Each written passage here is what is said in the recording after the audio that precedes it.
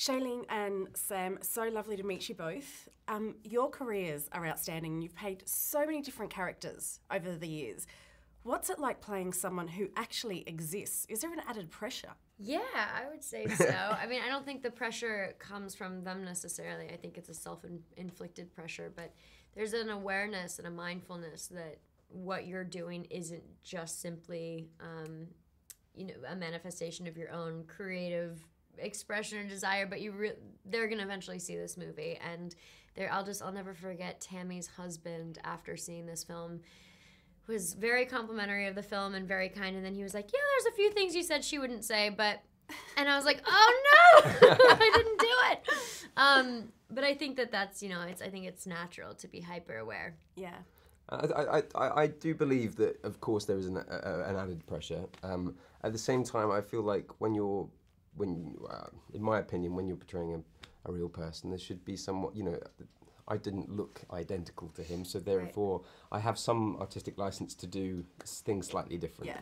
Um, so th- I, I feel like there's always it's always important as an actor to bring a part of yourself into the character. But really, yeah, we were, you know, trying to stay as true to who you know the essence of those people yeah. as possible. In this film, Tami says to Richard, "If it's not fun, why do you do it?" And his response is it's a feeling I can't describe. I've heard about days on set where everyone but the director and cinematographer were throwing up because mm. of the seasickness. On those days, were you thinking, what are we doing? And how did you go on? It's a feeling. Uh... that you can't describe? yeah, uh, before that, that particular day, we all, it was the first day at sea. We'd been filming on land for about a month we all went out we were taking selfies and celebrating this beautiful morning. You know the sun came up over the ocean. We are all drinking our coffee super happy. We go out on the sailboat and about an hour later we're all puking.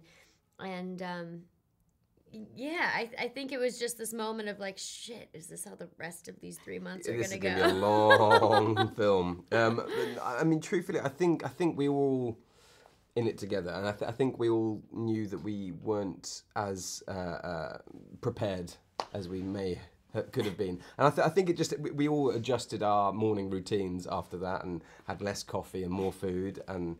Um, but honestly, that, the first day that we set out, that was the choppiest the waters ever were. So we were. Um, I think if anyone ever did feel quite weak, we had someone else to lift you back up. So it wasn't it wasn't that bad. This film opened in the States a couple of weeks ago, and I love that you went with your Big Little Lies co stars to the cinema to see it.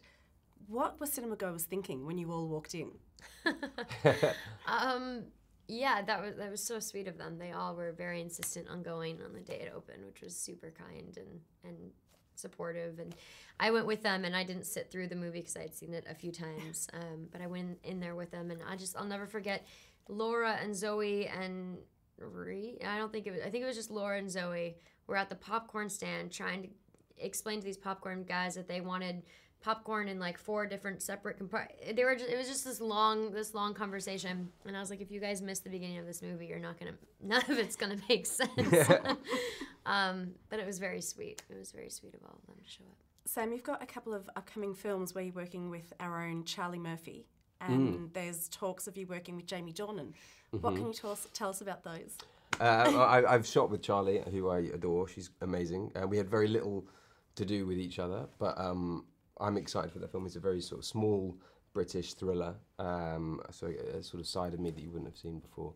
And then similarly, um, Borderland, which is a film that me and Jamie are hopefully going to do at, some point, um, is is a really, a really again a, a, very different side of me. And I think I think um, yeah, I have a lot of films actually coming up that are all different sides of me. Um, I can't so wait yeah, to, it's see, exciting. to see Nightingale. The Nightingale, yeah. The Nightingale. It's a very, very different side of me. the dark side of me. Uh, well, can't wait to see all of that and Big Little Lies, obviously. But Adrift, everybody check it out. You guys gave an amazing performance. Thank you for it. Thank you Thank very much. Thank Thanks. you so much. Thank Lovely you to meet